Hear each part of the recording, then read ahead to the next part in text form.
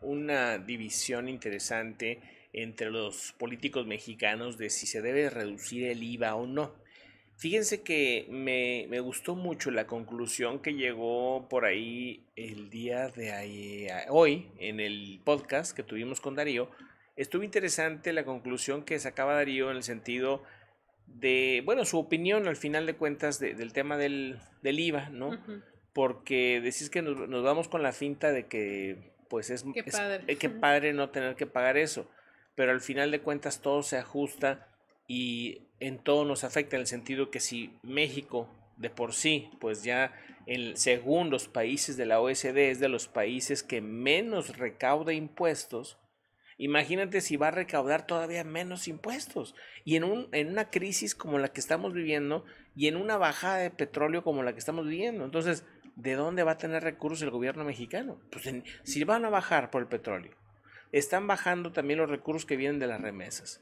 Eh, está bajando, pues obviamente porque hay menos negocio, menos este, industria, y eso también va a generar, o sea que por todos lados le va a perder el gobierno, se va a quedar sin dinero, realmente. Entonces, ese es el, el punto, aunque lo propuso un político de Morena, en general el resto de Morena no estaba de acuerdo, ni el gobierno mexicano, y obviamente los que están de acuerdo con este tema, pues quienes iban a ser nada más y nada menos que los del PAN.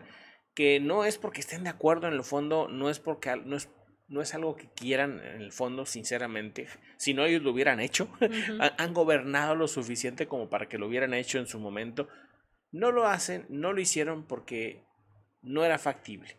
Si no, lo hubieran hecho, pero facilito.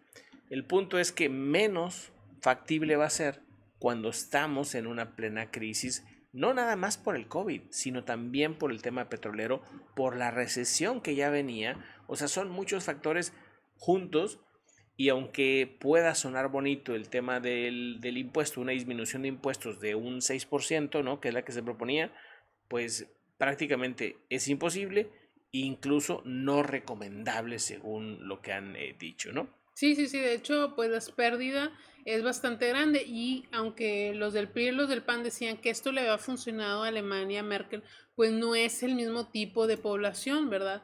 En eh, México el 61%, me parece, el 60% de los trabajadores están en el sector, sector informal, o sea que ellos de por sí ya nada más se les puede cobrar el impuesto de los de pues el diario, ¿no? De las cosas que compras. y al reducirles el, el, IVA al 10%, pues reduces en gran medida la entrada. Ellos calculaban más o menos, en el 2019 se recaudó 933.326 millones de pesos y se reduciría se quitarían más bien 300 mil millones de pesos, o sea, nos quedaríamos con un mínimo y generaríamos un déficit del Producto Interno Bruto de menos, o sea, negativo 0.4%, lo que es igual a 85 mil 543 mil millones de pesos. Pues así las cosas, amigos, así es como está la situación en ese sentido.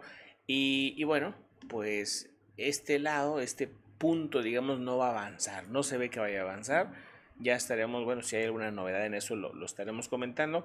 Por ahora vamos a otra información.